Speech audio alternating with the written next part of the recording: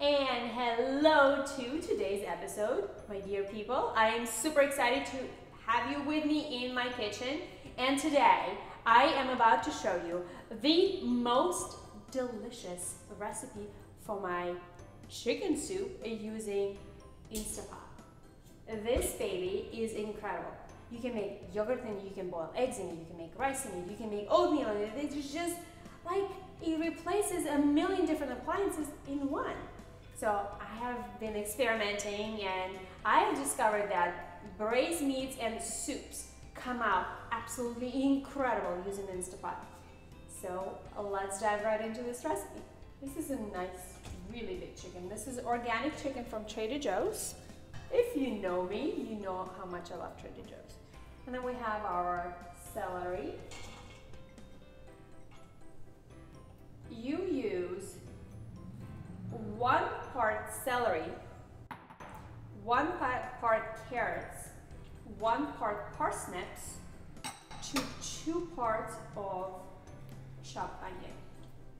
So we have all of our veggies in and our chicken in, and now we're going to be adding our seasonings, which is our salt.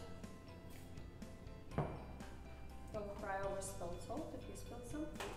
Adding some fresh thyme sprigs, just a couple.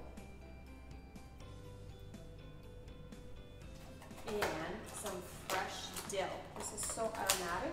This is going to make the soup taste absolutely incredible and give it that European flavor.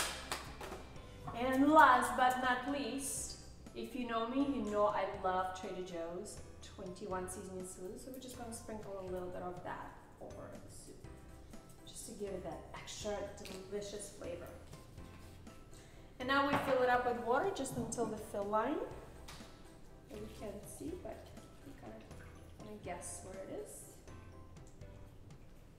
And we're ready to get it cooking.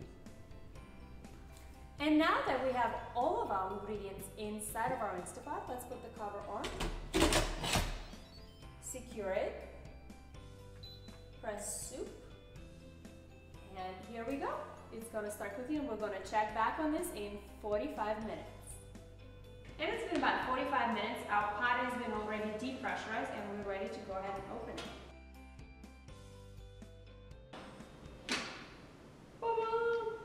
Oh, if only you can smell this. It is incredible. So now what we'll do is I'm going to pull Sticks. We don't need the sticks in our soup. And as far as the herbs, I used dill and I used fresh thyme. Look at how tender this chicken is It's incredible. So what I'm doing is I'm going to pull the chicken out into a bowl and then take it off the bone and add it right back into the soup. So if you've been looking for the soup that will become an instant classic in your house, look no further. This Instapot classic chicken soup is the best. It will win over anybody. Thank you so much for watching this video. I would appreciate any good comments that you have. Please send me some likes and love to the channel. Subscribe, share with your friends, and I invite you to live a deliciously healthy life.